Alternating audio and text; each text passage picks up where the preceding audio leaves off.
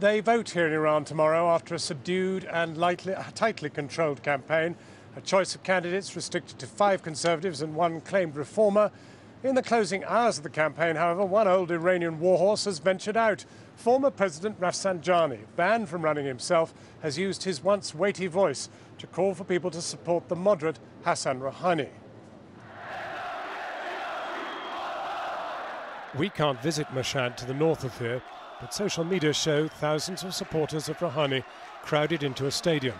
The ex-nuclear negotiator has become the focus for more reform-minded voters in this election, and pictures appear to show the crowd chanting for the release of political prisoners. There has been little mention of them during this election. At the opposite end of the spectrum is the staunchly conservative candidate and current nuclear negotiator Saeed Jalili, calling for the spirit of the Basij paramilitary forces who visited their discipline on reformists last time to be adopted by everyone in government. Also attracting significant support tonight, the dynamic mayor of Tehran, Mohammed Bakr Ghalibaf, who says definitely tomorrow will be the end of America and Britain's hopes in this country.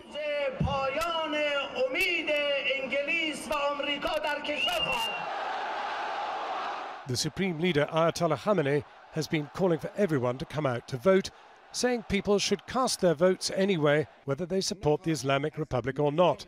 A high turnout is important for him, as he believes big numbers will bring credibility to this election. We're joined now by the Tehran University professor and political analyst Sadegh uh, Zibakalam. Uh, professor Zibakalam, let's quickly look at the Conservatives first of all. It seems to be a knife fight between uh, Mr. Jalili, who is uh, the current nuclear negotiator, and the rather brilliant technocrat here in, in Tehran, the mayor. Uh, can, can, can, he win, or who, who is this going well, to between? Um, all the, um, the census so far uh, point that uh, there is a stiff competition between him and the moderate candidate or the reformist candidate, uh, uh Rouhani. They are sort of very when close. When you say him, you, Ghalibaf, the mayor of Tehran? Ghalibaf, the mayor of Tehran. You, so you don't think Jalili's in it at all, really? Well, uh, um, Jalili is backed by the by the very hardline uh, hardliners, by the very hardline um, conservative, not even the moderate conservative. Too. Um, no, um, I would I would describe him more as a technocrat. Right. Although he pretends very much to say that he's a hardliner and he's close to the supreme leader and he is a war veteran, etc., etc. But people know him basically as a as a technocrat. Okay. Well, now it seems to me I've only been here a few days, but mm -hmm. there seems to be anxiety raising at the moment in the more conservative classes that. Uh, the reformists just might win. Mr. Rouhani could just win. There seems to be intensified security on the streets. And there's also been some rather radical characters shouting out at uh, Mr. Rouhani's rallies. Uh, what about the political prisoners?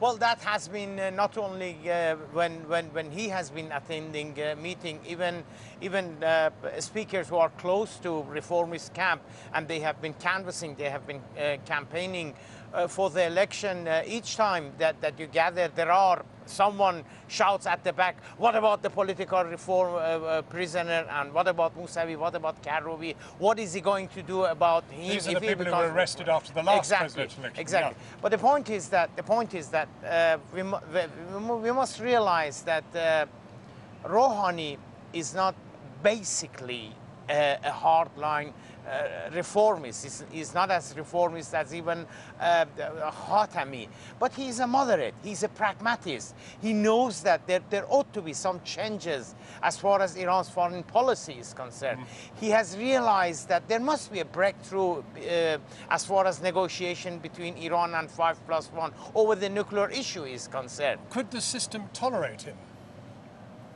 The point is that uh, uh, if you ask uh, uh the people who are hardline within the system, within the establishment, they would say that no, he can't do anything and, and uh, uh, let him become president and we are managing. But the point is that if you talk to moderate hardliners, if you like, they would tell you that something must be done right. because the economy is getting worse every day.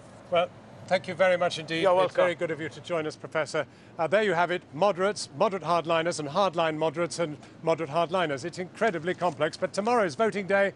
Till then, let's go back now to Kathy in London.